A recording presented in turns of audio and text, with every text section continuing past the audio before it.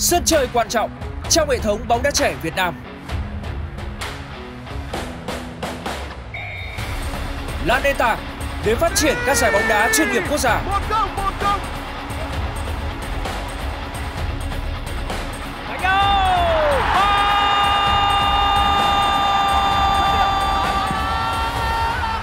Giải bóng đá vô địch U21 quốc gia 2024 khởi tranh từ ngày 1 tháng 8. Trực tiếp trọn vẹn trên FPT Play và VFF Channel.